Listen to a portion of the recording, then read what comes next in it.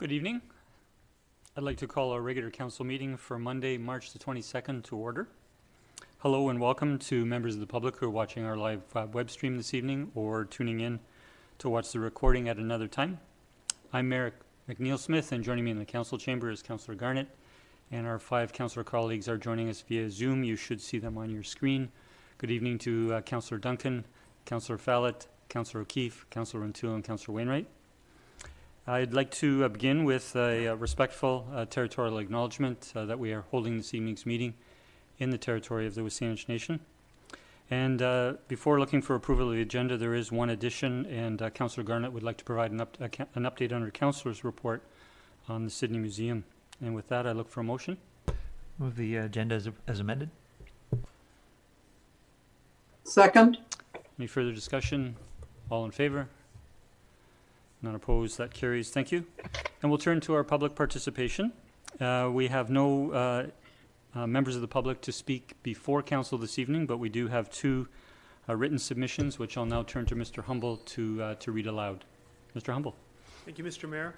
Uh, So the first piece of correspondence, correspondence is from Mona Brash, who resides at 965 Second Street.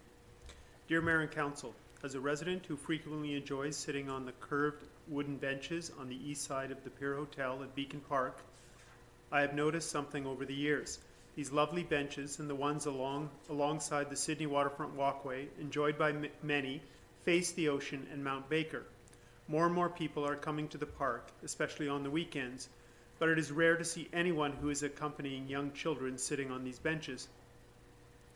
Very young children love to sing and dance in the bandstand, run on the grass, and scamper up and down the little hill in front of the Shaw Discovery Center.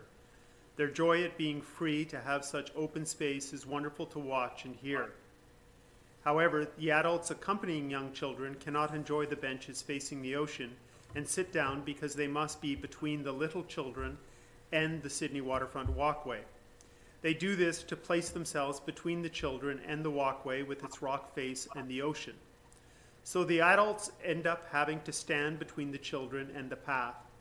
It would be very thoughtful for the town to install alongside the walkway at least two benches facing the hotel. This would allow all those adults who accompany young children to sit and enjoy their visit to the waterfront. With our population growing and Sidney becoming more of a destination for local people, the park should be more welcoming to all people. This would be in keeping with the 2018 Parks Master Plan in many ways. One of these is to have additional seating at Beacon Park. Uh, Thank you, Mr. Humble, and thanks to Mona Brash for your, uh, for your input and and your observations. Uh, And with there being a request uh, with regarding to such benches, I I would turn to staff if they would like to, um, to provide a comment. Thank you, Mr. Mayor. Um, I'll defer to, um, to uh, the Director of Engineering, Ms. Clary. Good evening, Ms. Clary. Good Evening, thank you, uh, Mayor. Um, so the town has been putting out the, the movable um, plastic chairs for the past few years in Beacon Park, and the intent is to continue with those um, plastic movable chairs uh, post-COVID. We did not put them out in 2020 just because um, people would be picking them up and moving them with their hands, so it could be a, a, a way to spread COVID-19. Um, however, potentially this summer, if uh, if concerns have decreased enough, and, and future summers, that would be um, uh, staff's intent. We could look at benches. However, uh, Beacon Park does have irrigation, so there's some complication in that. Um, but we, I do think that the the movable chairs would meet this person's um, request. Thank you, Ms. Clary. And uh, I'll turn back to Mr. Humble uh, for the second um, submission. Thank you, Mr. Mayor. Uh, this submission is from uh, Teresa Preston and Gord McIntyre, and they reside at 2359 Brethour Avenue. Dear Mayor McNeil Smith and Council, RE Tree Permit Application 2359 Brethour Avenue. Thank you for the opportunity to present to you and the community our tree permit application. In addition, we wish to thank Jen Clary and the Parks Department for guiding us in this process, forwarding the failed 2018 application for our review, uh, visiting the property, and speaking with us. We are aware Council is familiar with our tree. We summarize below the areas we consider most significant as you consider the application to remove this beautiful old dying arbutus tree. As required, we obtained an independent arborist report. Scott Mitchell of Scotty Tree and Arborist Service reports deterioration of one of the remaining three stems. In addition, the report discusses the numerous signs, uh, numerous, the numerous signs confirming this tree is dying. Small and medium branch shedding, tree wounds, and most significantly, root plate rot. The report concludes that, uh, open quotation, the arbutus tree is well into its decline. Failure of this whole tree is very probable. I recommend the uh, removal of the entire tree. Close quotations. We understand why our tree is protected. However, our tree is dying and appears to have deteriorated since the 2018 mitigation of flexible cables. The current state of the tree continues to put our home and our neighbor's home at risk. The tree also thre- threatens electrical and telephone infrastructure. These are replaceable. Our deepest concern is human damage. With every wind warning or storm, we live in fear. Our neighbors have expressed the same concern. We would believe that town council values our lives at least as much as a protected tree. We recognize that unprotected trees have stem failure and eventually root plate rot. However, owners have the power to mitigate threats and remove dying trees. This application process has made it clear to us that we have no rights as property owners to protect ourselves and others from this tree. We are at the mercy of town council. With no decision-making power, our conclusion is that this tree actually belongs to the town of Sidney. We understand that the, that the town council and staff are taking responsibility for decisions around the maintenance and demise of this tree, and we bear the costs. Should town council once again deny the application to remove the arbutus tree, we will wait for further guidance from the Parks Department. In addition, we wish to be on record that we consider the town of Sidney completely liable for any resulting damage to property and life. We will apprise our insurance providers of this. Uh, Thank you, Mr. Humble, and, and thanks to Gordon and Terry McIntyre for your submission this evening. We will certainly consider those, um, those comments uh, when we are deliberating on the item later in the agenda. With that, I'll bring public participation to a close, and uh, next we move to, to adoption of our minutes from our regular council meeting of March the 8th. Move adoption? Second. Any errors, or omissions, or comments? All in favor? None opposed, motion carries. Thank you. I'll turn next to my mayor's report, and I'll be fairly brief this evening. Uh, You will see appended in the uh, agenda the uh, CRD board highlights from our board meeting of March the 10th, uh, as well as all background information, uh, which is, um, you can access via links to, uh, to the CRD website. It was just one item that I wanted to comment on this evening, and that was the Saanich Peninsula Waterways Environmental Action Service. And um, the board was pleased to, uh, to pass uh, or adopt uh, a final bylaw to establish a waterways and water bodies monitoring and coordination service on the Saanich Peninsula. And I think this is uh, an excellent example of the three municipalities working in common interest and working together collaboratively uh, with the establishment of this bylaw through CRD. We know um, earlier in our term, uh, community organized, or residents, uh, uh, groups approached us with, uh, and North Saanich, uh, with concerns in Tsehum Harbor. Uh, Likewise, Central Saanich has had concerns uh, in some of their uh, harbors, and so I think this is uh, a a good opportunity to, uh, to work together to, uh, to try and address those concerns from uh, members of the public.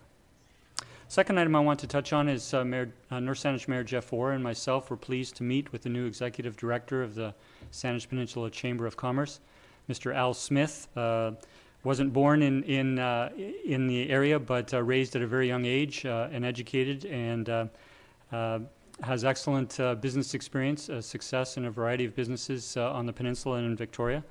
And we look forward to the to his experience in business and enthusiasm that he brings to the to the chamber.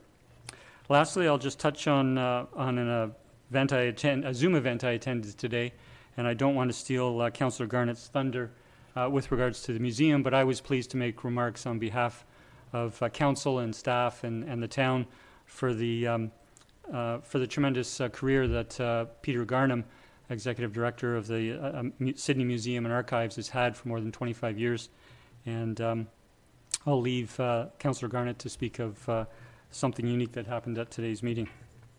With that, I'll turn to uh, our first council report and turn to Councillor O'Keeffe. Uh, Thank you, Mr. Mayor. So just reporting out on uh, my attendance at the four-day BC EDA conference that uh, took place uh, a couple weeks ago, uh, completely online, with the theme being economic revival after the pandemic. Uh, I reduced 50 pages of notes to five pages. I'm not going to go through all of it, so not to worry. But just a, th- a couple, a few things that I'll point out uh, that I thought may be of interest. Um, I, I think what's interesting when you look at the experience of other communities, you can look at this and say, huh, we did a lot of the same things that they did. So it's interesting to see how I think, how we aligned with what other communities in BC were, were doing. And then there's some differences as well. So I think it's interesting for business community and business organizations and the town to, to take a look at those and uh, to look for other ideas that we might want to adopt. Um, there was a number of good speakers.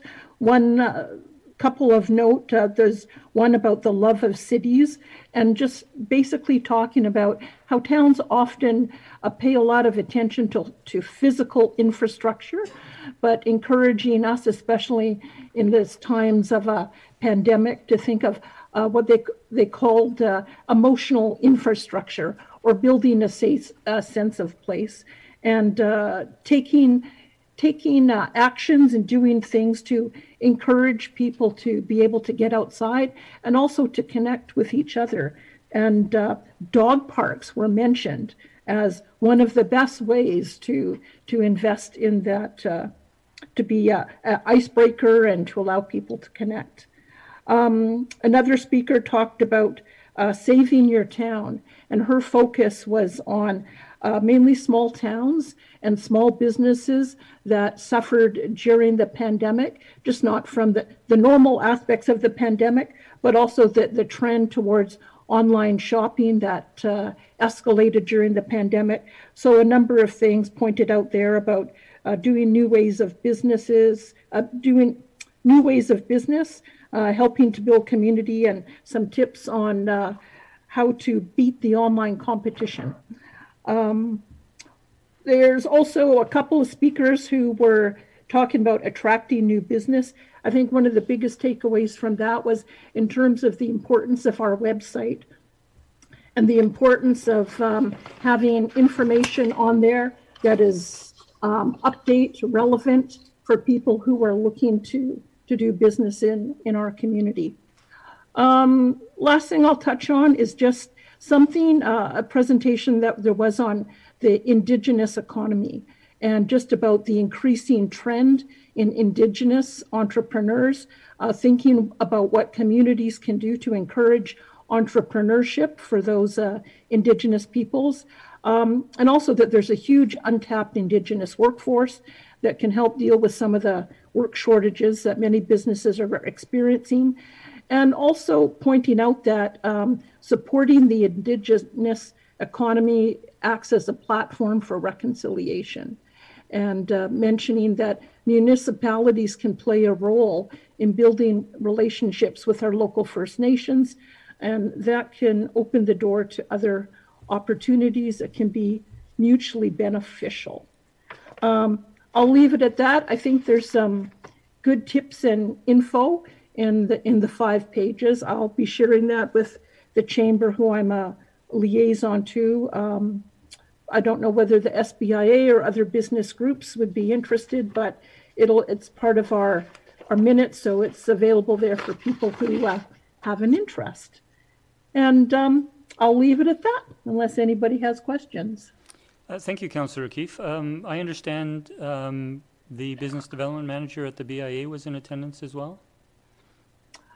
I think she, I believe she was. Yeah. I don't know whether we all attended the same sessions or not. Well, we certainly thank you for, uh, for the commitment to attend over a number of days and uh, uh, taking those notes and, and giving a fulsome report, uh, written report for, uh, for council and the public to, um, to view. Uh, Any questions from uh, colleagues? Thank you again, Councillor Keefe. I'll turn to Councillor Garnett. Thank you, Mr. Mayor. Uh, Just an update from the Sidney Museum and Archives Society.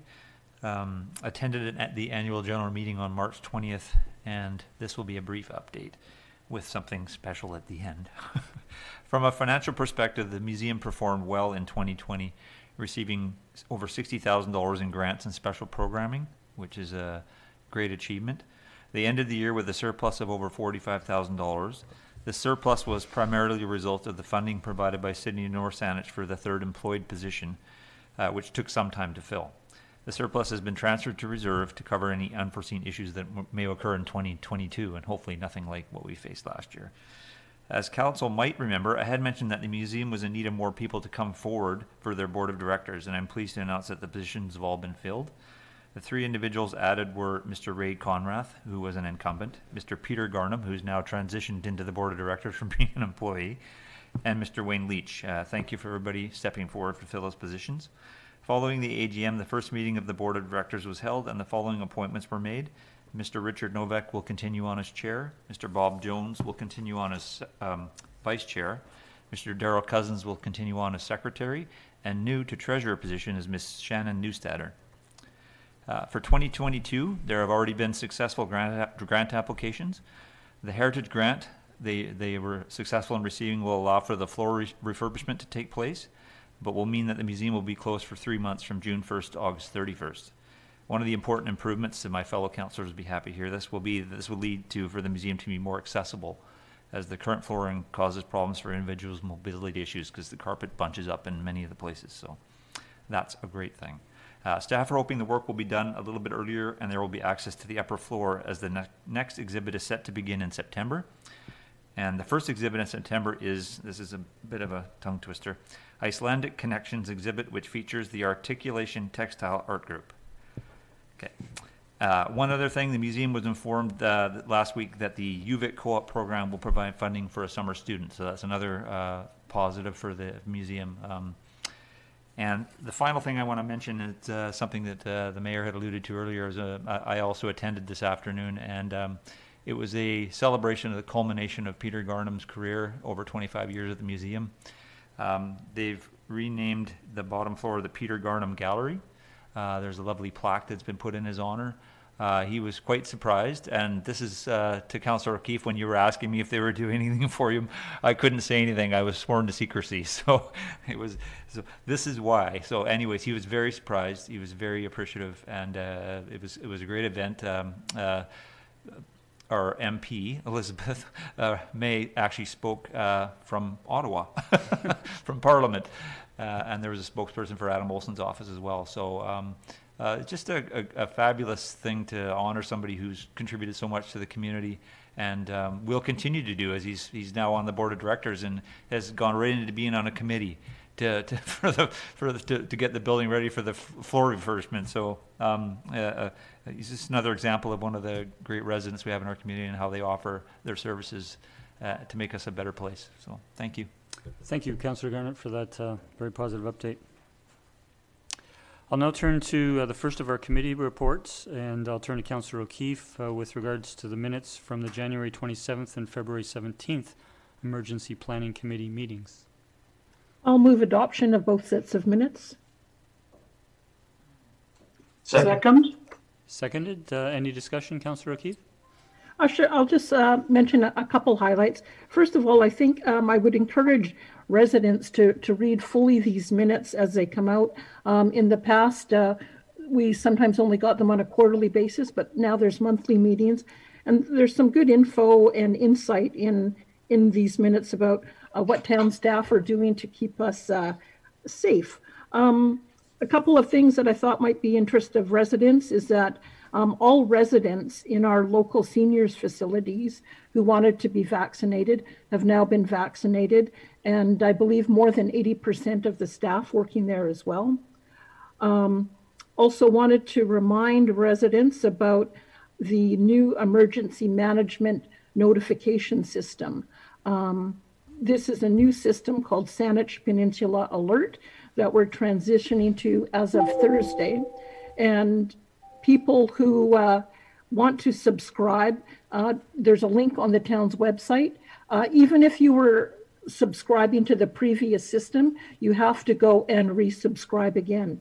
Um, one of the features they wanted to highlight from this is that the new system divides the peninsula into different zones. So you can sign up to get alerts for your own area or from other areas as well. So for example, you live in Sidney, but you work in North or Central Saanich, you can sign up for alerts for both areas.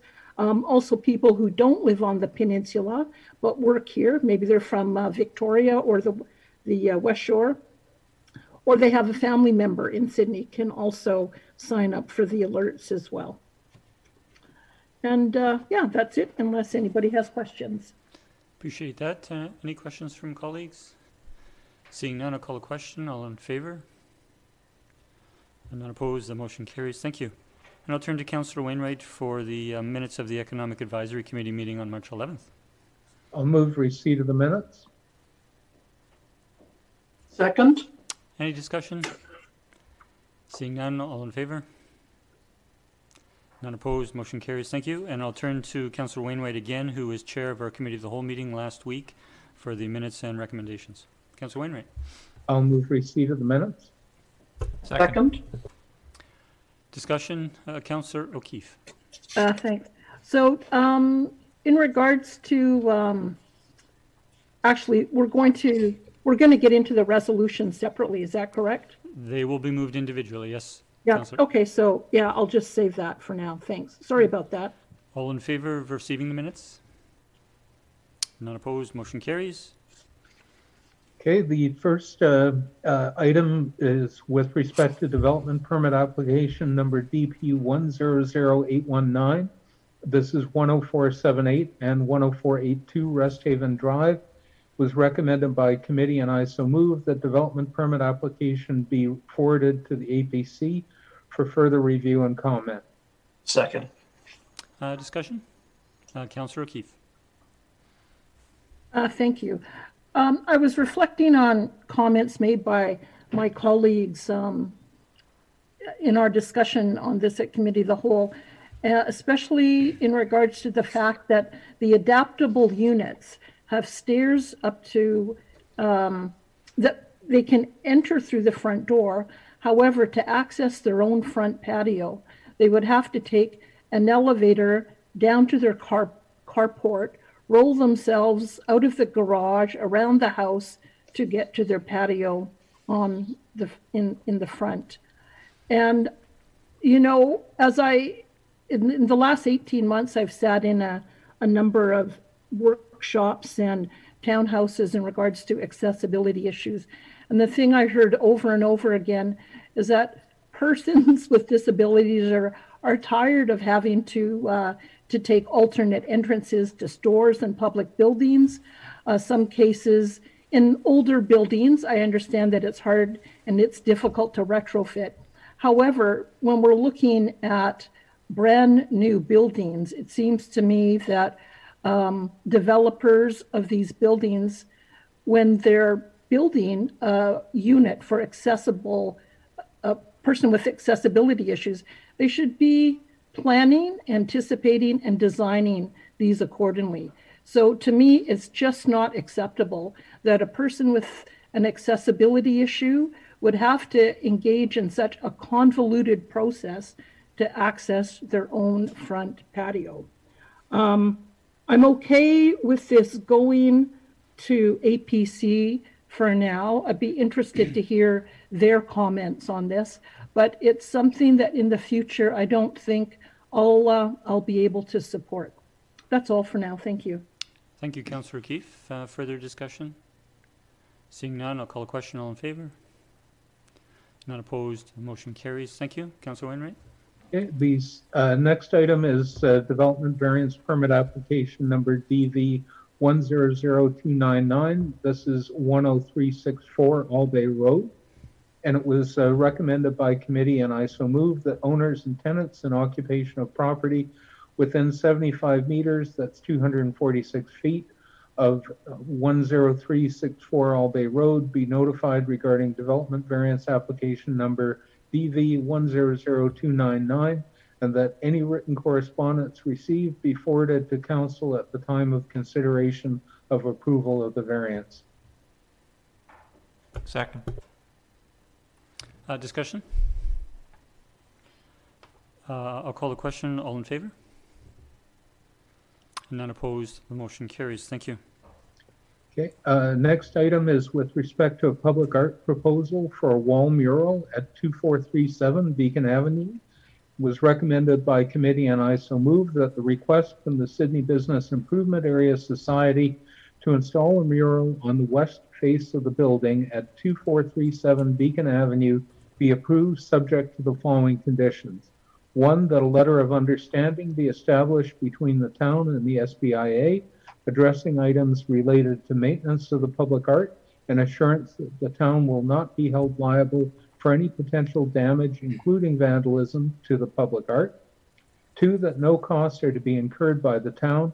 And three, that any future installation at this location be brought forward to council as per the town's public art policy. Second. Uh, discussion. Okay, I'll start a speakers list. I have, uh, did you wish to, um, as a mover, wish to speak, uh, Councillor Wainwright? Uh, no, Just- thanks. Okay, so I'll go with Councillor O'Keeffe, uh, Councillor Fallot, then Councillor Garland, Garnet. Uh, uh, Thank you, Mr. Mayor. Uh, As mentioned at last committee of the whole, I had some concerns about this mural, and, and I still do. Um, That was reinforced by a, a letter that we, we got from a member of the public. Um, So my concerns are uh, still that the mural does not uh, reflect Sidney's unique character or history. Um, I found it, it looks generic. It looks like something that was drafted quickly and uh, by someone perhaps who hasn't visited here. I, I know they're not from here, they're from Vancouver. So maybe uh, they don't understand our character. Um, in addition, as pointed out by one of our citizens that wrote in, um, the phrase on the mural, see you in Sidney by the sea, it just doesn't make any sense. If if this was going to be an advertisement in another town like Vancouver or uh, some place to encourage people to come, it would make more sense. But for the residents or people who are here already, it doesn't make much sense. Um, the other thing I'll reiterate again is that we're not using local artists. Um, to me, it's ironic that there has been so much focus on supporting local businesses, and many communities uh, recognize the importance of supporting the local arts community. Um, but this is an artist from Vancouver who has been hired to do the mural. And I know there's lots of talented people in our area. I'd like to see uh, local artists being provided this opportunity. I understand the SBIA felt they were wanting to get this done quickly. However, uh, it's not clear to me what, what the urgency is. So uh, I would suggest to the SBIA, if they want the community to support local businesses, that they should also be supporting local and invest a bit more time to do the right thing. Um, I noted that the SBIA recently came up with a new logo that I saw on their website, and I thought that was very attractive and uh, it reflects Sidney character. So I would, you know, urge them to uh, to consider that and come up with something a bit more attractive for our town. That's all for me. Thanks. Thanks, Councillor O'Keeffe. I'll turn to Councillor Fallot. Oh, thank you very much, Mr. Mayor. Um, I echo Councillor O'Keeffe's comments. Um, I, I felt that the phrase needs to be explained.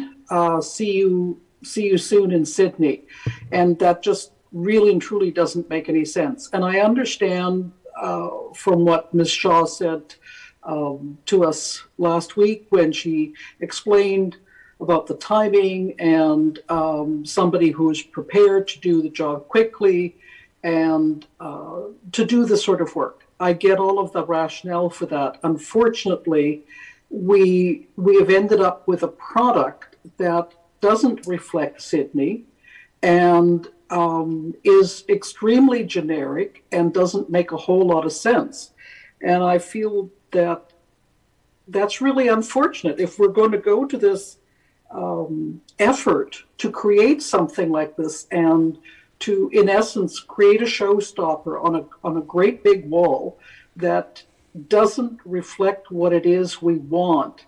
It ends up looking like exactly what it is. That it was a job done quickly to feel fit a specific need of speed um, where I don't understand what the urgency is for speed. So um, I, I'm really loath to support this. Thank you. Thank you, Councillor Fallon- Fallon. I'll turn to Councillor Garnett. Thank you, Mr. Mayor. Yeah, I have to be honest, uh, uh, Councillor O'Keeffe made some good points, and when I left here last week, I, I, I, I realized that, yeah, it, it, it didn't, although I like the idea of bright colors and the popping of them to add some vibrancy to that wall, the whole idea of having something that represents Sidney was missing. And then, of course, the letter of correspondence came in from a member of the community, and, and so it just sort of stuck home with me that, yeah, you know, we, we, we should be able to do better.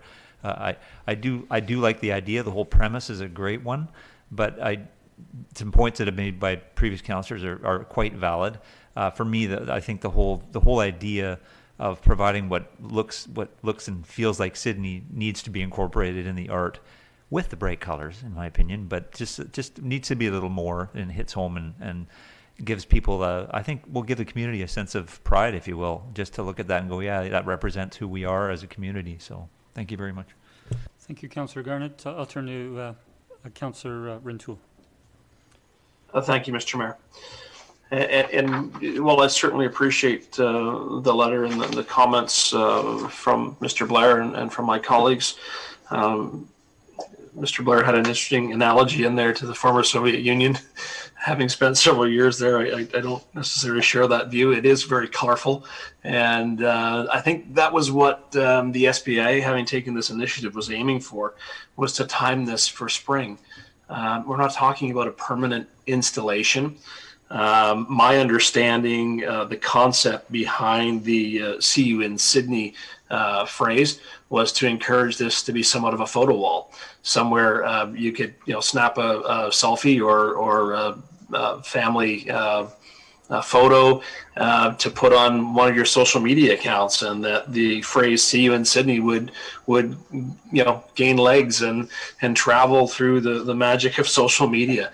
Um, that's what I understood the intent to be, and um, in that it's not a permanent installation, I'm I'm comfortable continuing to support this SBIA initiative. Thank you, Mr. Mayor. Uh, Thank you, Councillor Rintoul. Councillor Councillor uh, Duncan. Thank you. I, I agree with Councillor Rintoul. It, in the role of approving this as council, I see we're not spending town money on it. It's not being placed in a public park, um, like, you know, the art walk. Um, the, the, the critiques of it are, are valid in terms of whether it's going to be great art or, or something that people understand the purpose of it, as, as Councillor Rintoul explained, but um, that was for the board of the organization that is spending money on it to have sorted out before they came to us. And, and I feel like our decision on whether this can go up is, is whether it kind of meets the criteria of, you know, whether it was obstructing the sidewalk, whether it was in some way profane or de- detracting from the town and, and not to, to really critique it on its merits of, you know, if we're, we're the organization, we would have picked it. So I'm comfortable moving this forward. Thank you. Thank you, Councillor Duncan. Uh, Councillor Wainwright. Uh, I'll just say that I uh, concur with uh, Councillor Duncan and Councillor Rintoul. Uh, Thank you, Councillor Wainwright. I'll um, uh, speak for a moment. I um, I'll uh, agree with some of the comments uh, from from Councillor Rintoul. I think you know I was it was very positive to have the presentation and see the the initiative that the BIA, uh, the business owner and the property owner were taking to to add something to our community. Um, though um, Mr. Blair's uh, letter did give me pause to uh, to reconsider. And I think, uh, I think the points of uh, whether this is short-term installation or a longer-term installation, I think um, reflecting the town's culture, history, and character is, is important. I think local artists, we have lots on, in Sidney and the peninsula. Um, and I think, um, uh, I think it's, uh, it, it should be reconsidered. Um, again, if there was a sense of urgency, and I realize the timing uh, by the parties involved was to uh, to have it up because we, as we've experienced the weather today, are uh, are starting spring, and it would be nice to see that uh, that theme up as soon as possible. But uh, I I think a pause uh, to uh, to reflect uh, on improving that um, that town's culture, history, and character would be, uh, would be appropriate, and so I won't support uh, this motion, but I would certainly hope uh, council could come to a consensus on a way to, uh, to move this forward uh, in the short term. Any further discussion? Seeing none, I'll call a question. All in favor? Opposed? We have four opposed, Councillor O'Keeffe, Councillor Fallot, Councillor Garnett, and myself. The motion is defeated. Do council um, have a, another motion to consider? I can move on to the next item. Thank you. Okay, I uh, take The that next a no. item is proposed amendments to the council procedure bylaw. And it was uh, recommended by committee, and I so move that the proposed amendments to the council procedure bylaw be referred to a working group of council consisting of the mayor, Councillor Wainwright, and Councillor O'Keeffe to review the proposed amendments and bring them forward to a future committee of the whole meeting. Second. I would like to uh, just comment, it was my intention, and it only came out, I think, in the discussion, not in the motion itself, that the intention was to have the working group consisting of the three identified in the motion, but also to include the CAO and the uh, corporate clerk, uh, corporate officers. So if I could have uh, suggested an amendment to include those in the working group. Uh, I'll include that as an amendment. Thank you. Second. Seconded. Call a question on the amendment. All in favor? Uh, Any discussion on the main motion? All in favor? None opposed. That motion carries. And Council Wainwright, uh, please continue.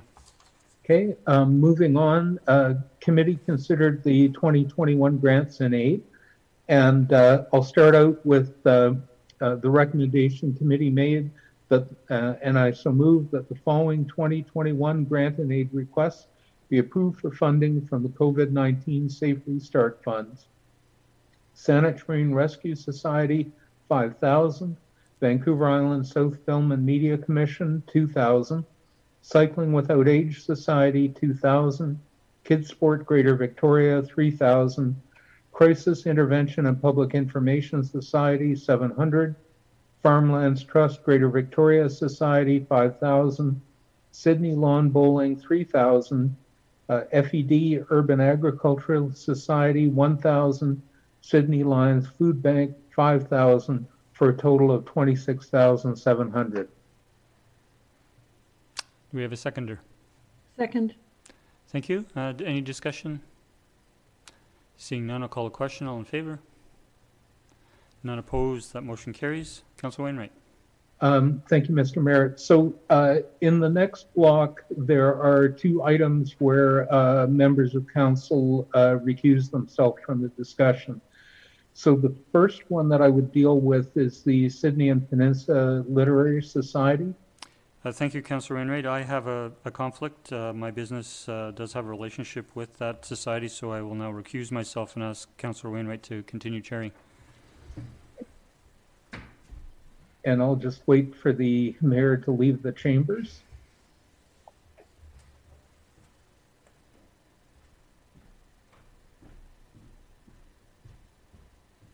And then it's a little unusual for the chair to actually make a motion, but procedure allows it.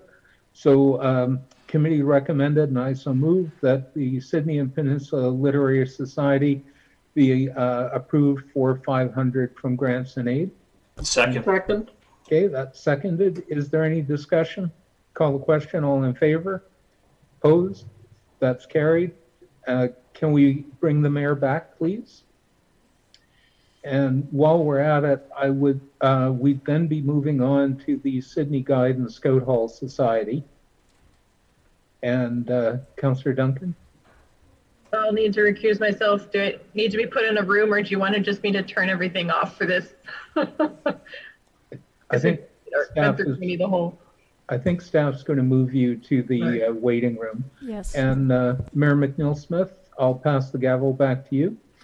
Yes, sorry, do we have it, uh, so Councillor Duncan has recused herself from the meeting, and uh, do we have a motion? Uh, It was recommended by committee, and I so move that the Sidney Gou- Guide and Scout Hall Society uh, be approved for a thousand in funding from grants and aid. Second. Thank you. Any discussion? All in favor? Not opposed, motion carries. If we could please reconnect Counselor Duncan. Thank you, Mr. Humble. Okay. You can hear us And- okay, Counselor Duncan? Thank you. Uh, Counselor Wainwright. Okay, and it was recommended by committee, and I so moved the uh, remaining uh, uh, grant and aids. Uh, So Bike Victoria, 1,300, uh, Peninsula Stream Society for core operations, 5,000. 676 Kitty Hawk Sponsoring Committee Society, 750. Navy League of Canada, 750. Peninsula Dry Grad Society, 1,000 all approved for funding out of the general grants and aid funds. Second? We have it seconded. Any discussion? Call a question. All in favor? Not opposed, motion carries. Uh, Thank you, Counselor Wainwright, for taking us through those uh, recommendations. We'll now turn to uh, staff reports, and item 13A is a tree removal application for an arbutus tree at 2359 Brethour Avenue. And a report uh, dated March 2nd. I'll turn to staff for an introduction. Please. Thank you, Mayor. So this, uh, this tree did come before this council in 2018 when, uh, the, the former property owner was requesting to have it removed. At the time, um, council voted to deny the request to remove the tree. Um, and the, the property owner, um, installed some cabling to, uh, some tension cabling to, um, prevent major failure of the limbs, the larger limbs of the tree. The property then sold and now this is the new property owner requesting to remove the tree again. Um, as mentioned in their letter, they had been uh, shared the, the previous history of the tree um, when they submitted their application, and uh, uh, we uh, met with them on site to review the tree.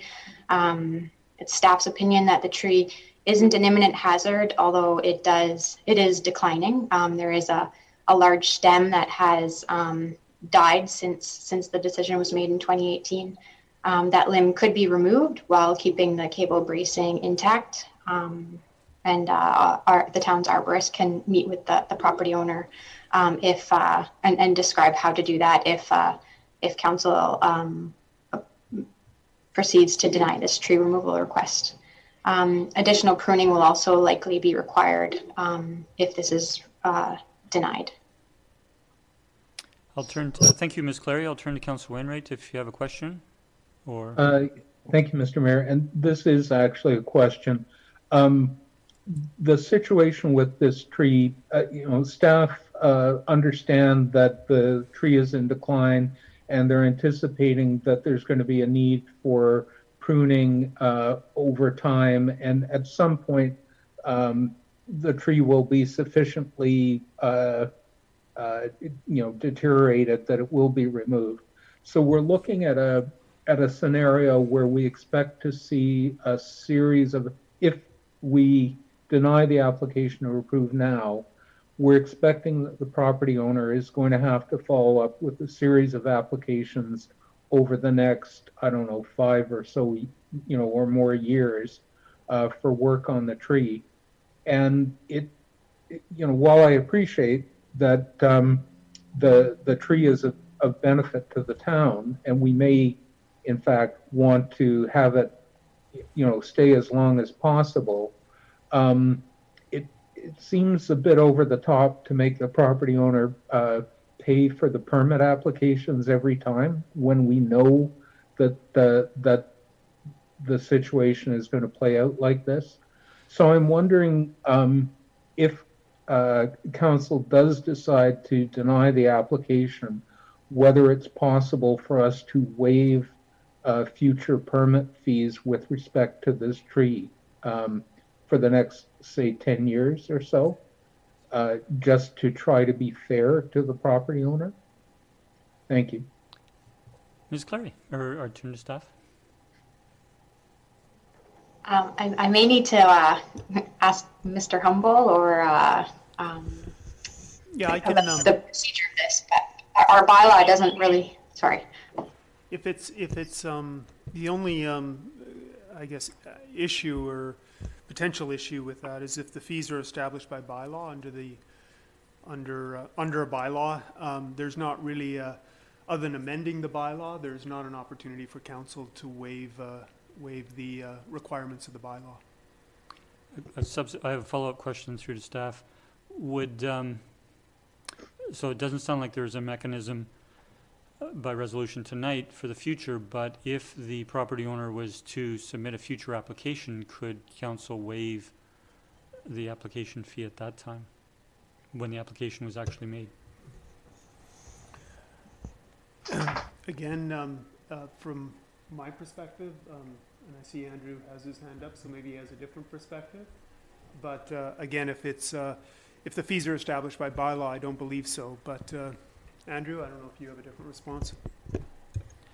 If it's the will of council, the bylaw can certainly be amended to make that happen. But is there an amendment required for a one-time waiving of fees? Not that I'm aware of, no. Okay, thank you. Uh, Councilor Wainwright, did you wish to follow up? That answered my immediate question. Um, I'm happy to see what my colleagues think about this and weigh in as the discussion proceeds. Thanks, Councilor Wainwright. Um, any further discussion? I'll turn to Councilor Rintoul, then Councilor Fallot. Uh, Thank you, Mr. Mayor. Um, Turning back to the uh, um, public participation period earlier, and a a letter was read from this applicant, and and that query with regard to um, uh, liability um, came up. And so if I could, through to staff, uh, do we know if there's a precedent in the province uh, where a municipality has been found liable or or partly liable for a tree or limb falling on a structure after a declining tree removal application was denied on private property.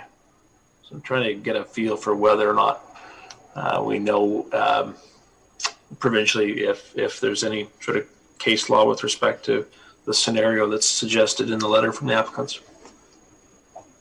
Thank you, Councilor. I'll turn to staff. Uh, Ms. Clary? Uh, through the mayor to uh, Councilor Rintoul, we're not aware of any such case at this time.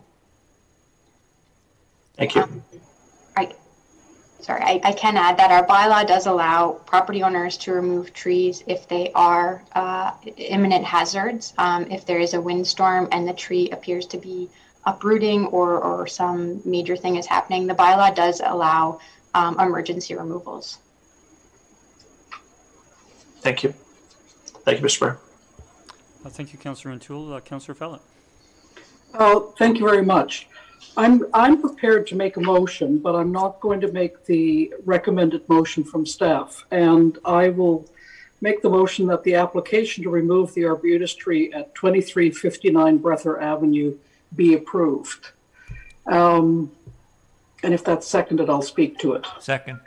We have it seconded. I'll turn to uh, Councilor Fallot. Did you wish to speak, Councilor Fallot? Uh, thank you very much. Um, I've watched that tree over the years, and and it's it's an an amazing specimen of an arbutus tree. And um, I lived for many years on Salt Spring, and, and was privileged to be to see those trees and and also be annoyed by them because they shed their leaves in the summertime and uh, all of the stuff that goes with it. But arbutus is a very dense wood and it's a very heavy wood. And when I looked at that tree uh, just the other day, I went past it on Friday to look at it again. And I do have a serious concern with that tree in the setting. If this were on a large property, I wouldn't hesitate uh, for a moment to say, you know, we'll just let this tree be and live its life however it's going to. But I am not prepared to. Um, I'm not prepared to leave that tree in existence, knowing what is happening to the tree. Um, for me, I feel that there is reasonable grounds to approve taking that tree down, even though it is a protected tree, even though it is a magnificent tree, and even though it may live another five to 10 years without issue I think it's a matter of time, and I'm not prepared to to put those homeowners and um, the neighborhood through should there be failure that causes an inconvenience, uh, let alone harm and damage. Thank you. Uh, Thank you, Councillor Fallot. I'll turn to the seconder, uh, Councillor Garnett. Thank you, Mr. Mayor. Yeah, I, I can I concur on many of the points that Councillor Fallot um, has raised. And back in 2018, I, I voted in favor of removal of the tree.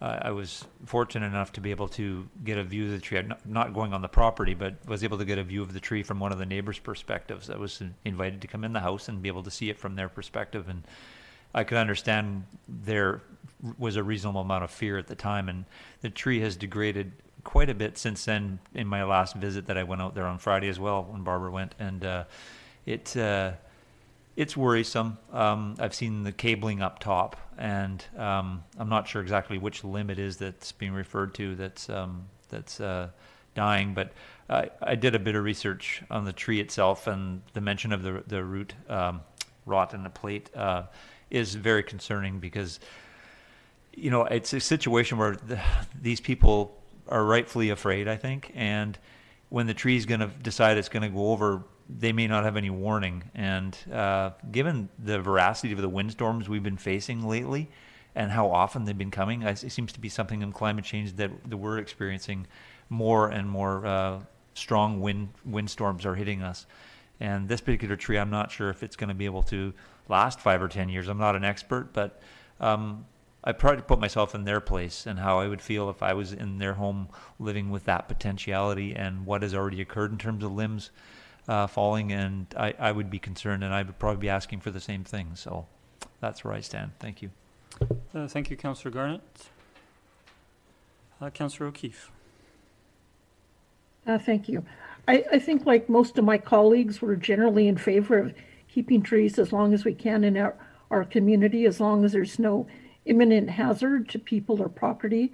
Um, when we looked at the tree on All Bay last week, or recently anyways, um, the arborist report that the individual commissioned for that indicated that the tree was still generally healthy and posed no imminent threat.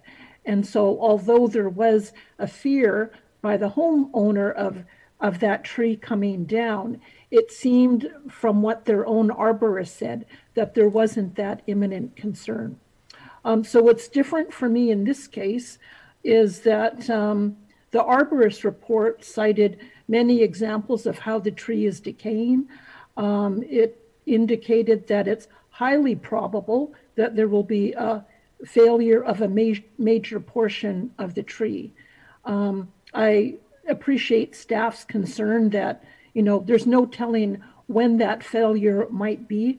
Um, I don't know where the five to 10 years came from, but there's, you know, it seems to me that uh, it, it could happen at any time. And so when I think about that um, and other things that are mentioned in the arborist report and noting in what close proximity it is to sidewalks when people are walking by, uh, to power lines and other homes. Um, so I, I think the risk and consequence of damage is high. So I have to agree with um, uh, Councillor Fallot and Garnett that I unfortunately I think it uh, it needs to come down. Thank you. Uh, Thank you, Councillor O'Keeffe. Uh, Councillor Duncan. Thank you. And I think just I, I'm in agreement with with what Councillor O'Keeffe has said about what was different about this tree application. And I guess just to add to that, that I feel um, in previous cases there's there's been some mitigation that was able to be recommended that they could continue to try. Whereas in this case, the mitigation, you know, back in 2018 when we saw this, we let it go because there was a mitigation that was suggested, that was tried, and it, it doesn't seem to have removed some of the problem. It's still dropping very large limbs. Um, there's one new significant death of a limb here, and, and that mitigation isn't going to help. And I know that if we continue pruning this tree, will probably only accelerate the dieback. I, I don't see how this tree would make it much longer, um, especially knowing there's a arbutus tree that's across the street from me, and and it went in under 10 years for sure from from a much healthier state than this one was in last time we saw this application. So uh, I'm in favor of of getting it over quickly um, because they would be back, I think, every year saying, is it damaged enough yet? Is it damaged enough yet? Is it damaged enough yet? If it hadn't fallen down yet. So um, this this one is we'll, we'll take the tree off palliative care and, and let it let it go quickly. Thank you, Councillor Duncan. Further speakers? Seeing none, I'll call the question. All in favor? We have none opposed. Uh, the motion carries. Thank you. We'll next turn to item 13B, a staff report on the proposed memorandum of understanding to find a business development, sorry, to fund a business development manager term position. A report, uh, Mr. Humble. Thank you, Mr. Mayor. Um, so the focus of this report is to follow up on uh, Council's resolution of March 2nd, uh, where Council resolved that 60,000 from the Safe Restart funds for the SBI proposal be approved for a two-year period. Um, Council also resolved that the CAO and the mayor draft an MOU between the town and the SBIA for the business development manager proposal, with quarterly reports from the SBI to be provided to the Economic Advisory Committee. So based on uh, that resolution, the mayor and I collaborated and drafted the MOU. We then actually worked with Councillor Wainwright, who is the council liaison to the ADC, as well as uh, working with the SBI chair and executive director of the SBIA to finalize the actual draft.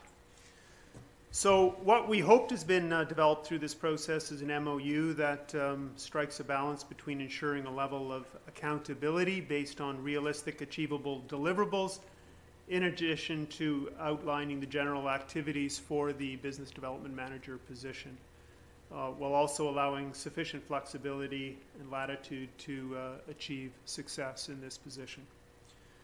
It should be noted the MOU does differ from the, the actual council resolution regarding the term of the agreement. The MOU provides for a complete uh, two-year term, beginning on April 1st, 2021, and ending on March 31st, 2023.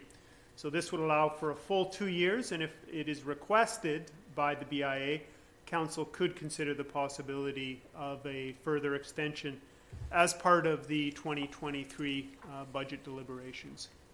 Thank you, Mr. Mayor. Thank you, Mr. Humble. And uh, we do have a recommendation.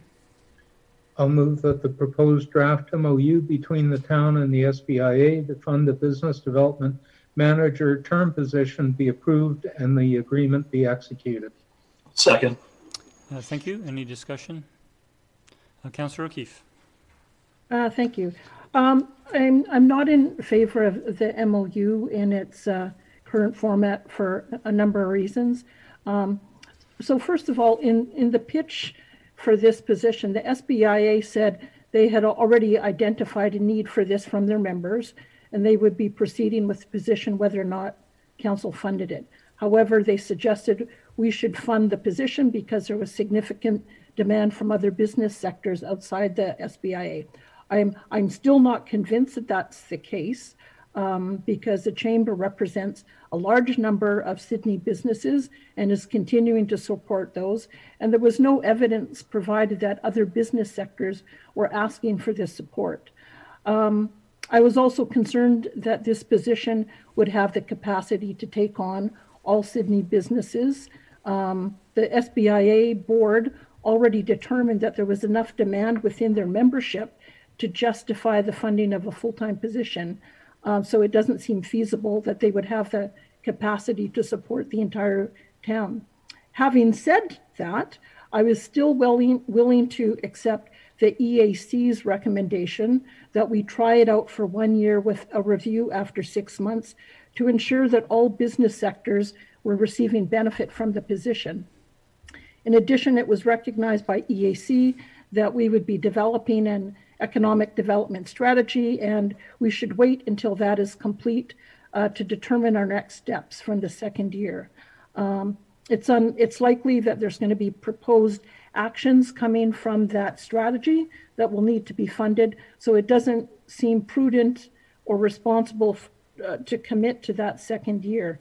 Um, in regards to the second year, when that was discussed, uh, my understanding, I believe the understanding was that we would only go into the second year a term if it was felt by council with input from the EAC that the business community was receiving benefit from this position. So what I'm concerned with the current MOU is that there's no provision for a review. Uh, there's no option for council to consider not funding the second year if we feel the program isn't meeting the expectations for council and the community. Um, another area of concern was is section uh, K um, K uh, Part D, and that refers to providing more direct support to sectors such as hospitality and tourism, which have been negatively impacted by the pandemic. And while that's true, uh, the reason this clause concerns me is because one of the, the things that came up in discussions uh, with the EAC was a concern about conflict of interest and that the SBIA already had sort of an inclination, perhaps, to support their members who are primarily in the hospitality and tourism sector. And so um, I'm just wondering why why this clause needs to be in there at all. And it it it concerns me that um, you know there's an inclination we're articulating that um, they may spend more more time on on those issues. And I think I guess if the SBIA feels that their members are going to need more attention, that's fine. But that should be funded from the levy that uh, that they already receive from those businesses. Um, the taxpayers and other business sectors shouldn't have to pay for that via the town's contribution of 60,000.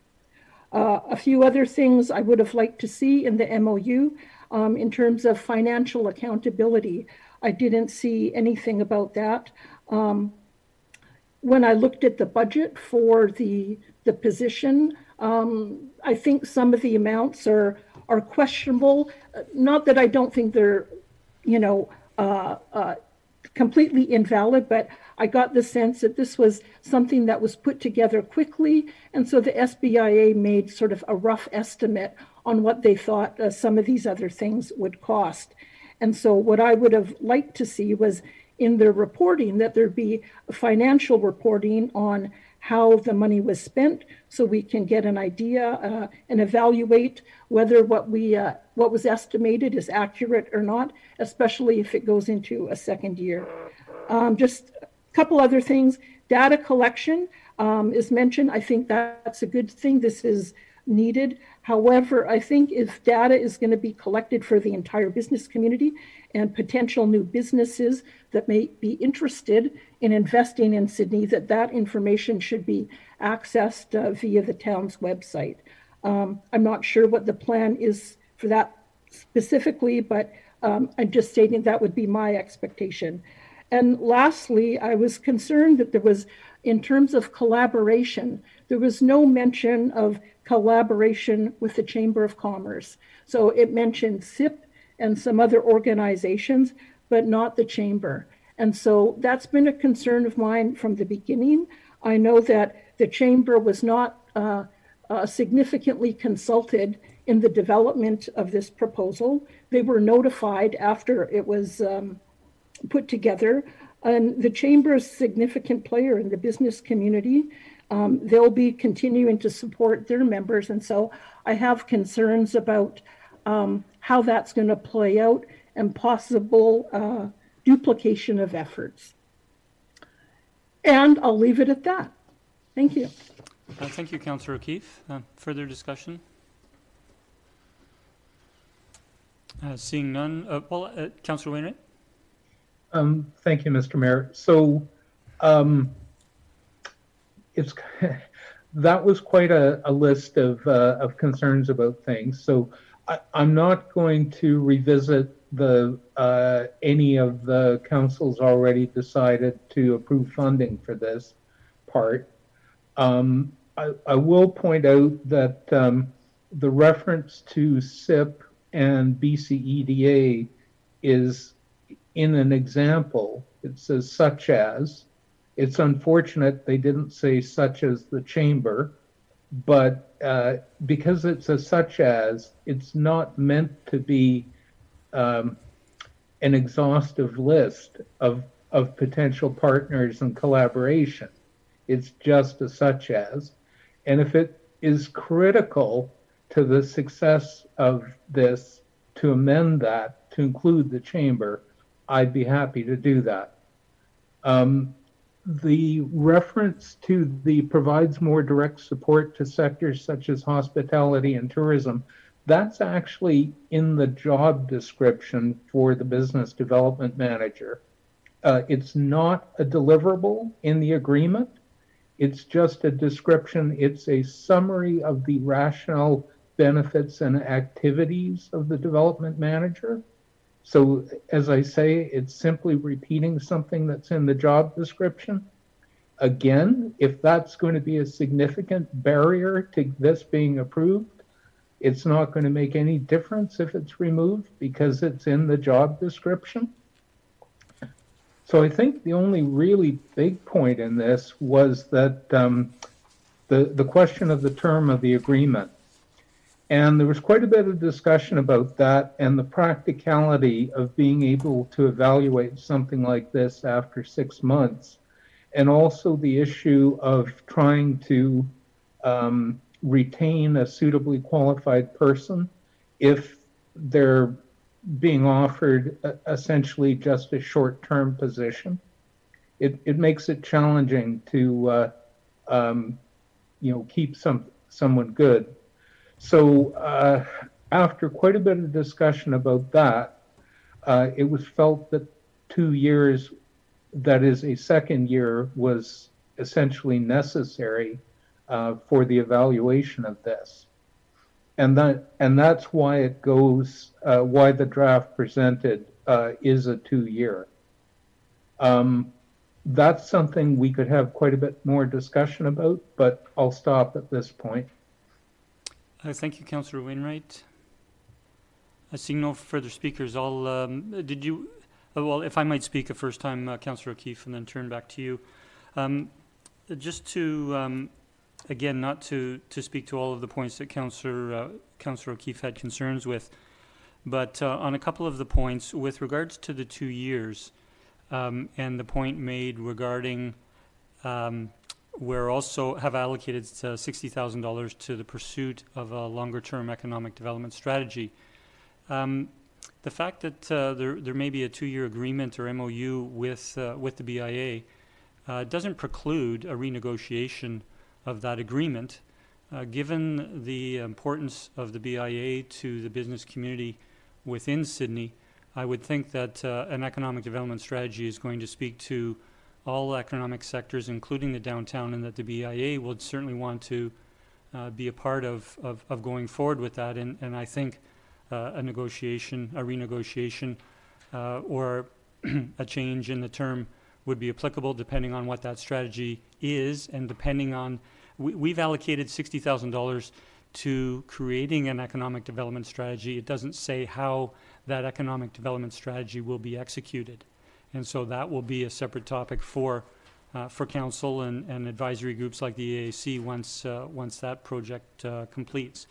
So I don't, I don't have a concern over the two years from, from that perspective. Um, uh, to, to, I think the main point, and I think, uh, you know, amendments to this are certainly possible uh, to improve it, but um, I contrast this with do nothing.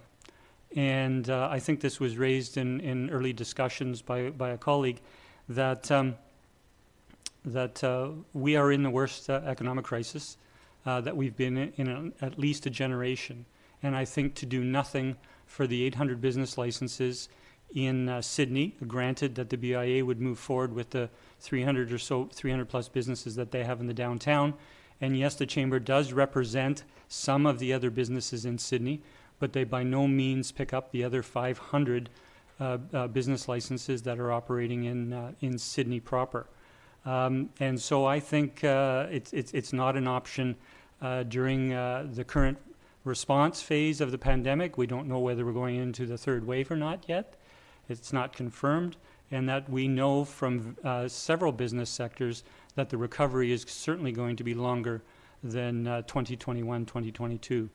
Um, And so I, I strongly urge uh, council members to, um, to consider this and to consider amendments uh, that might, uh, might lend further support to, uh, to this initiative. Uh, Councillor Duncan. And then I'll turn to Councillor, uh, Councillor Duncan as the first-time speaker, and then Councillor O'Keeffe.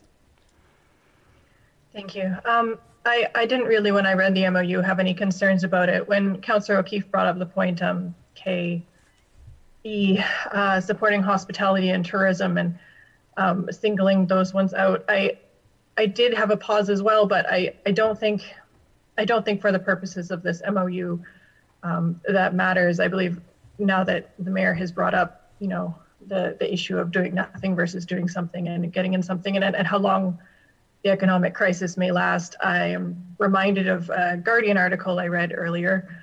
Yesterday came out, I think, where they had a high profile health official saying that they were projecting now because of the rise of variants that even once everyone in the UK was fully vaccinated, they would not probably release masking and social distancing until 2024 because that is when the models say everyone in the developed world will also be fully vaccinated.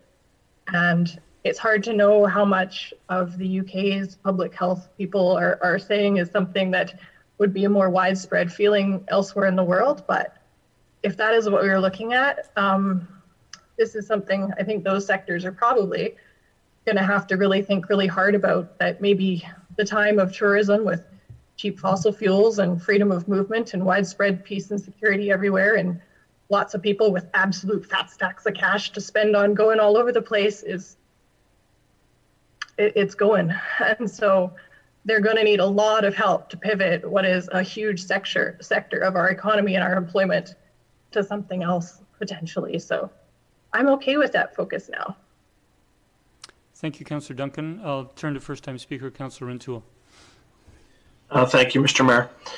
Um, I just wanted to, um, you know, remind my, my colleagues that uh, we agreed that uh, a work group would, would come back and put together uh, an MOU.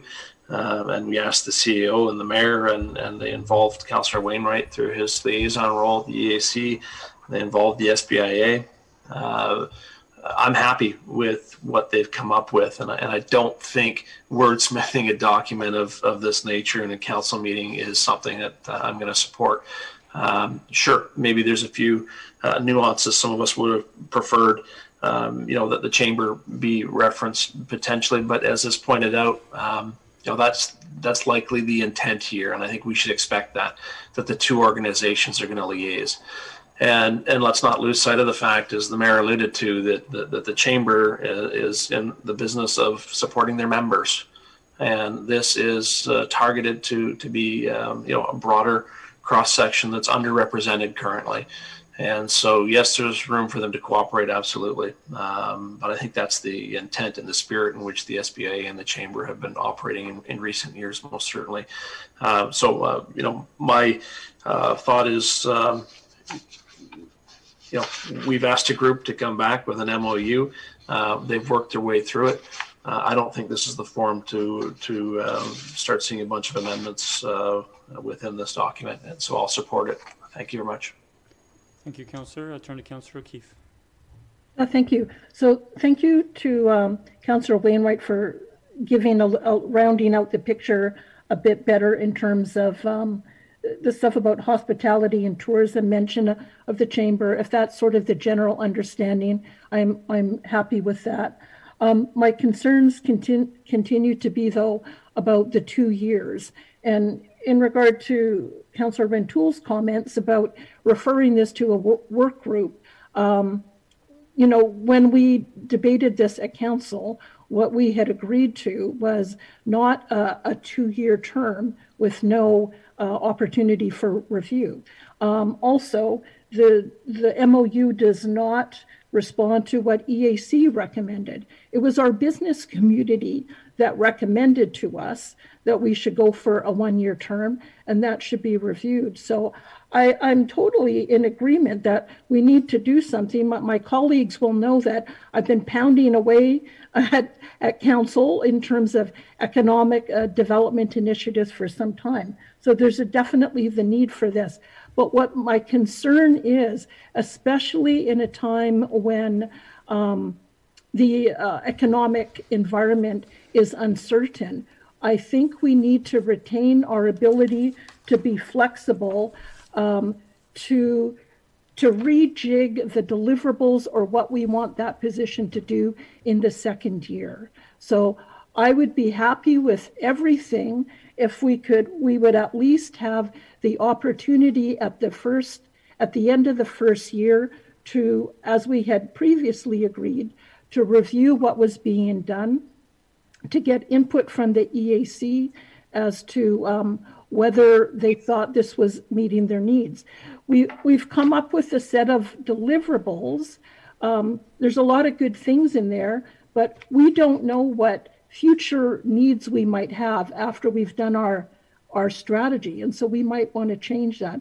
So all I'm hoping that we can do is if we're going to go for a two-year term, to at least have the opportunity after the first year to for council to evaluate it, for the EAC to evaluate it, and have the opportunity to um, to determine if we want to move forward and or to adjust the the deliberables to be more responsive to our business community. Uh, Councillor uh, Wainwright, I'd, if I could comment uh, first and, and then turn to yourself. Uh, uh, thank you, Councillor. Uh, thank you, Councillor Keeffe. I'd, I'd just like to comment that um, there is provisions within the MOU for the business development manager to attend regular meetings on a regular basis, uh, to provide be providing update reports. EAC will be able to provide feedback uh, to that business development manager uh, at those meetings, and it is in the agreement that there will be a full report after a year to council, and council can certainly um, make comment uh, to the BIA. Uh, uh, should we have a clause in there that the the, the, the council can can uh, cancel the contract after one year uh, if it doesn't like what it what, what it sees or or after a year? I don't think so. I don't think that's appropriate. I think given the nature of this pandemic, given the nature of our the, need in our business community. Um, we, you talked, we talked about members outside the BIA. Uh, the BIA did not provide us with the exact numbers of non-members that were coming to them. They did indicate when they put this forward that they were getting uh, requests from non-members, that they were getting something in the order magnitude of 1,200 or 14 emails a month. This is is based on demand from uh, the business community, and it's and it's an initiative to move forward. So I think there is accountability uh, in terms of reporting on a regular basis to uh, to EAC and then to council in a year. And I think we can uh, can can look for ways to improve this if if that's uh, if that's important as uh, as we work through this. I'll turn to Councillor Wainwright. Um, thank you, Mr. Mayor. Uh, you said some of the things I was going to say. So, um, a key thing is that uh, there's going to be a presentation in January of 2022 on what's being done under this. So, um, you know, there will be a, a, a, report at the end of the first year on, on what they've done budget wise, successes, progress on deliverables, and all the rest. The other thing I'd say is that half of the funding is is for the position. And the position, in terms of the specifics of what they do, there is some flexibility, and they're going to be, this individual is going to be regularly attending EAC and, you know, will um, obviously be trying to integrate whatever comes out of the ED strategy that's developed into their activities. So as, as far as the way it's written up, the specific deliverables, which is section nine, um, has um, the core stuff that matters to us in there, and it it provides flexibility because it's not overly prescriptive. So it talks about delivering uh, reports regular presentation to the EAC. That's the first thing. And specifically breaking out SBI area, area from the rest of Sidney. They're to enhance available online source resources through the website. So there is a clear deliverable that we expect to, we didn't say exactly what they have to do, but we expect to see improvement. They're going to utilize the business license data and create an interactive data set um, for established businesses in Sidney. That's a deliverable. We expect they're probably going to do something with that data, but we're not being specific about what reports and what analysis we're going to require. Um, they're going to establish and distribute a new business welcome and information package to all new businesses identified by the town. That's basically whoever takes out a license. And they're going to establish small business education regarding the need for digital infrastructure and other topics. So there's flexibility. So we've got a bunch of key deliverables, but there is scope for them to do additional stuff that will come out of the ED strategy and come out of those discussions with the EAC. So I, I think, you know, we've, I think that's pretty solid. Um, and there is a lot of opportunity to provide the direction. And in terms of um, scoping the that flexibility, um, we're saying that they have to do it generally in accordance with the proposal they gave us, and with respect to Section K, which is the general activities of the business development manager. So I, I think there is some good accountability and opportunities for us to provide direction. And, and that's why I'm comfortable with this. Thank you, Council. Any further discussion? Uh, Seeing none, I'll call the question. All in favor? Opposed? We have Councillor O'Keeffe, uh, Councillor Fallot, and Councillor Garnett opposed, and the motion carries. Uh, Thank you for the, uh, uh, thank you, Council. I'll now turn to item 13C, a Tower Crane Rescue Services Agreement, and I'll turn to staff for uh, an introduction. introduction. Good evening, uh, Chief Mickelson. Good evening, Mayor and Council. The purpose of the report uh, before you is to obtain council's um, authorization to enter into an agreement with the uh, City of Victoria Fire Department for the provision of tower crane rescue services within the town of Sidney. Thank you. Any questions? I'll turn to Councillor Garnett. Thank you, Mr. Mayor. Thank you, uh, Chief Mickelson. Uh, just a question uh, regard to um, this. I'm assuming Saanich still dispatches out of the Vernon Road area, and does does the Vic Fire Department dispatch out of Yates Street, or are they going to be into their new facilities, and where exactly would that be coming from?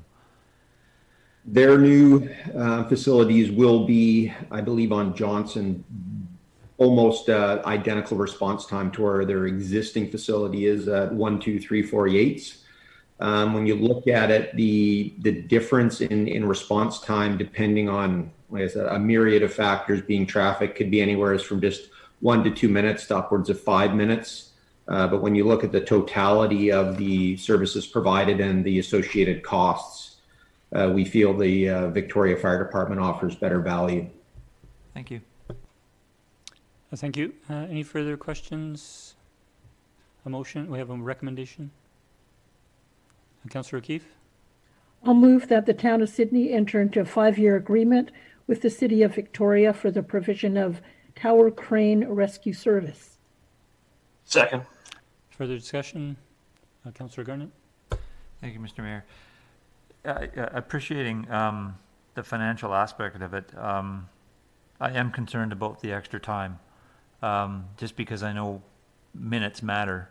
And uh, I, I, for one, I just, I just can't put the financial aspect of it ahead of the time aspect, and it, it really is a stumbling block for me. So, I mean, even if it's one minute, five, you say on your five to 10 minutes, that's the, that could be the difference between somebody dying, I think, or building being done. And for me, I, I just I can't support an agreement that puts that time factor in there for uh, just over money. I just cannot do it, so I won't support it. Thank you. Thank you, Councillor Garnett. Seeing no further discussion, I'll call a question. All in favor? Opposed? One opposed, the motion carries. Thank you, Chief.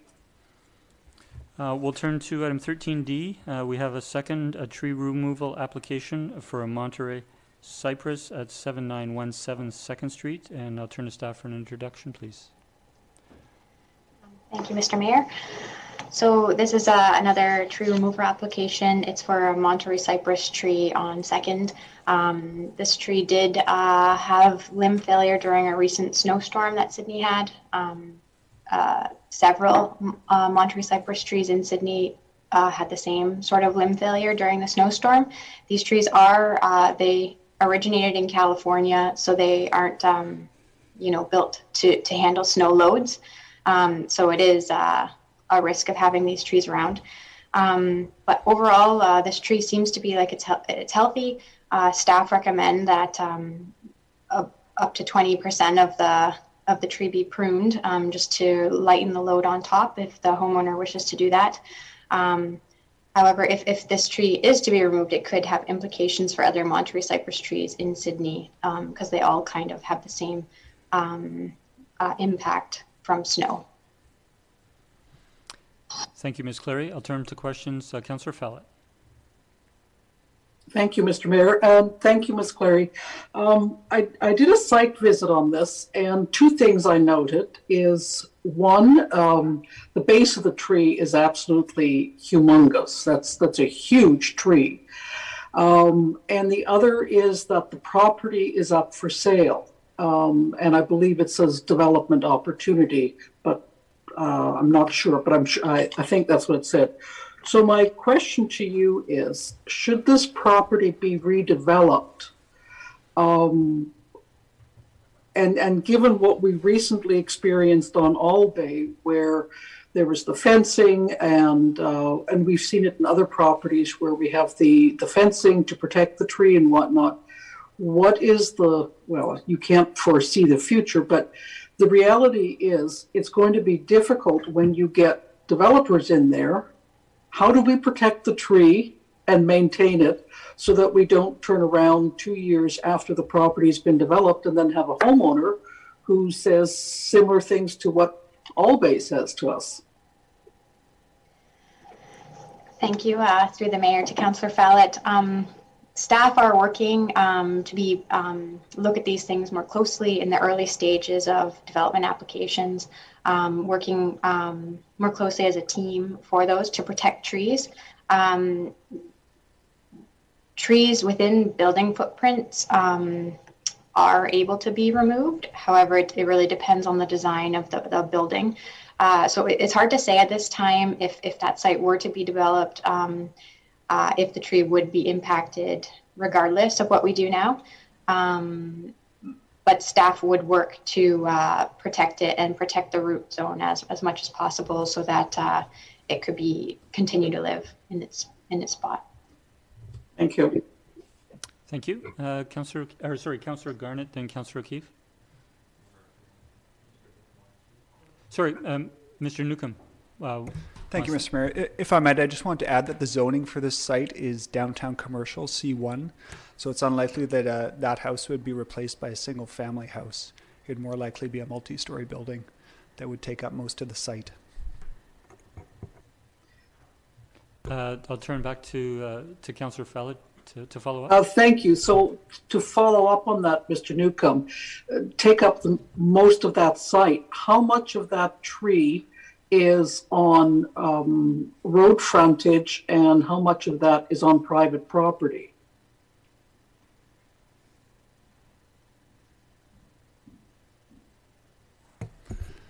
Through the mayor, Councillor Fallot, I actually don't know the answer to that. Yeah. Uh, my memory says about 70% on private property, but Ms. Clary might have more information. Sorry, I didn't mean to load you with that question. It's just that because you had made the comment, I just uh, spoke to it. Thank you. If I might, my, the intent in making that comment was just to point out that uh, a redevelopment on that site and retaining the tree would be difficult to accomplish together. Um, Thank you. Thank you, Mr. Newcomb. Thank you. I appreciate that comment. Thank you. Thank you very much, Mr. Mayor. Thank you. Uh, Councillor Garnett. Thank you, Mr. Mayor. Uh, Thank you, Ms. Clary. Um, When you got, when you refer to twenty percent being cut, having seen the tree, I was actually there when Councillor Fallot was there on, on Friday. uh, I'm trying to visualize what that would look like and where exactly they would be cutting. Um, through the mayor to Councillor Garnett. I am I'm not an arborist. However, uh, that's standard um, arborist practice to cut to to remove up to 20%. I believe it's just trimming some of the larger limbs so that trimming them back. Um, so, uh, um, however, I'm I'm not exactly sure. I, I could uh, follow up with a, a response on that uh, after I speak with our, our the town arborist uh, tomorrow, if you would like. Thank you. Thank you, Councillor. Uh, Councillor Duncan and Councillor O'Keeffe. Thank you. Um, I noted in the, the photos that we were provided as well, they show the power lines running through all of the branches of this tree. So I assume when they pruned it, they would be wanting to look at both the overextended limbs and I'm hoping trimming around the power lines and things like that. Now, normally BC Hydro, I'm thinking comes to, to prune trees like this. If this was on Town Boulevard, I, I'm not sure if it would be Hydro or the town who was responsible for making sure it didn't get in get into the power lines like this but if they need to take out more than 20% to kind of free the power lines because that, that has to be hazard on its own and as well as pull back the crown um, i guess that would result in in some injury to the tree so i guess what i'm i'm asking is if they go in to do this would would that have to be done and is that the town of Syd- Sidney who would decide how that was done or, or um, the private company or the or the like the the private land the landowner or would it be BC Hydro that would look at that?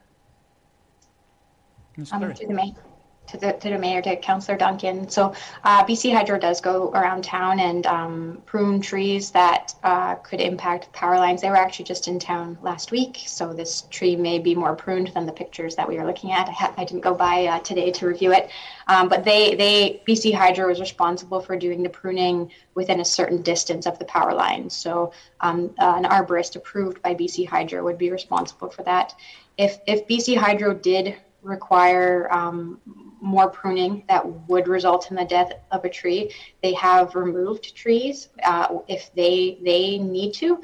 BC Hydro is exempt from our our town um, tree preservation bylaw. However, they have not approached us about this this particular tree. They do um, approach us from time to time about certain trees that they require to remove. Um, the, the other portions of the tree could be done by a certified arborist um, by following standard uh, agricultural Thank you, Councillor Duncan. And sorry, next on my list, uh, Councillor O'Keeffe. Uh, thank you. Uh, two questions, I think.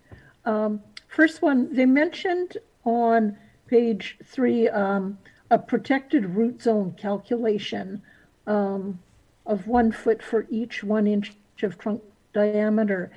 Is that, does the town also use that, um, that measurement, um, when we are looking at protecting trees, like during construction or, or something else. Um, I'm trying to remember what it says in the, the tree bylaw. I know that they put fencing around, but is it a standard um, amount of distance that we say there has to be, you know, two meters distance? Or do we use this calculation that they quote from the, the ISA? I presume that's the Arborist Association. Thank you, Ms. Clary. through the, the mayor to Councillor Keeffe. Again, I'm not an arborist, but uh, uh, the, the town's arborist does um, meet on site to help uh, developers determine how much, where the tree fencing is supposed to be. There is a tree protection barrier um, fencing in Schedule A of our tree preservation bylaw. Um, it doesn't have the same uh, uh, calculation uh, per se. However, I know it has to do with uh, around the, the drip line of the tree. Um, and basically the tree, prec- tree protection fencing needs to be approved by our, by the town's arborist. Right, okay. And the, the other question was, they reference, um, that several times Second Street had to be closed off due to Is, is that the case? Do we know how many times that's happened and just wanting to check in on that? Yes, uh, through the mayor again to Councillor O'Keeffe. Th- This, this particular tree did um, cause the closure of Second Street for uh, at least a lane of it for a portion of time during that snow event. A large limb did fall on the power lines. The power lines were active and um, the, the road was closed until BC Hydro had time to actually come and remove the, the limb. Um, so BC Hydro did eventually, the BC Hydro was very busy. Many trees lost many different limbs during that snowstorm. So this was one of the, one of the trees they had to get to and it, it was closed for, for an amount of time because of that. Okay, thank you. That's all for me. Thank you. Uh, Thank you. Any further discuss, any further questions? Uh, We have a staff recommendation.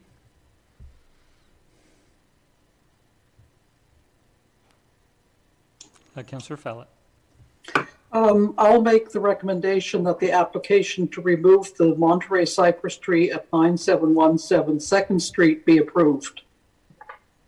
Second. Further discussion? Councillor Fallot, did you wish to motivate? Uh, yes, just, just further, um, I note that in the, uh, the discussion of the staff report, they, uh, staff, um, suggested that council should consider whether other Monterey trees in Sidney should also be removed if this tree permit was approved, removal permit was approved. Um, I, th- I think there's something that differentiates this particular one with others. Um, the size of the tree, the location to the buildings around it, um, that it does need to be pruned at this point, and given that there is potential, very real potential for redevelopment happening on this property, uh, probably in the near future. I'm, I'm just guessing. I don't know this. Uh, I don't see the sense in, in maintaining the tree. And so I, I feel that we would be doing the community the right decision to remove the tree, even though I, I and along with the rest of my colleagues are supportive of maintaining our trees and increasing our tree coverage. I get that, but this is this is a massive tree. It doesn't belong on a city lot. So um, that's that's my pitch on that one. Thank you. Uh, Thank you. We have other speakers. Uh, I saw Councillor Rintoul, Councillor uh, O'Keeffe, Councillor Wainwright, and Councillor Garnett. If we could go in that order. Thank you, Mr. Mayor, and I'll echo uh, support for uh, Councillor Fallot's uh, comments.